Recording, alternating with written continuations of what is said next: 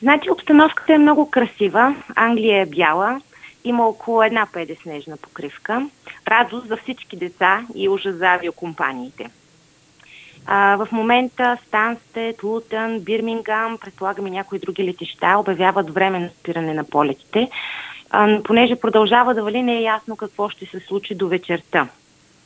За сега няма обявено бедствено положение все още. Навсякъде призовават да не се пътува в такива условия, всички да се останат у дома. А, знаете, една педе сняг или най-много 28 см са регистрирани в Уелс и то по най-високите части. Това не е кой знае какъв проблем за България, но за Англия нещата стоят по различен начин.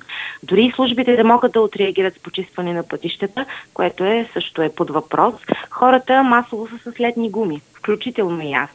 Това затруднява цялата обстановка.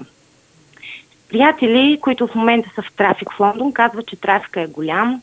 Разстояние за предвижване с кола, което им отнема обикновено 10 минути в момента, отнема около 40 и дори повече. В момента единственото обстоятелство, което подпомага обстановката, е, че е неделен ден.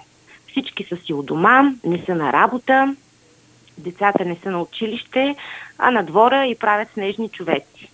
Аз се радвам на снега, тъй като винаги ми е липсвал тук в Англия, особено покрай коледа. Но общо взето всички сме в очакване какъв ще е утрешния работен ден. А, в момента м, транспорта с а, андерграунда, с метрото в Лондон е доста труден, тъй като доста от линиите м, са спрени, понеже има прекъсване на ток, както така стоят нещата и с влаковете.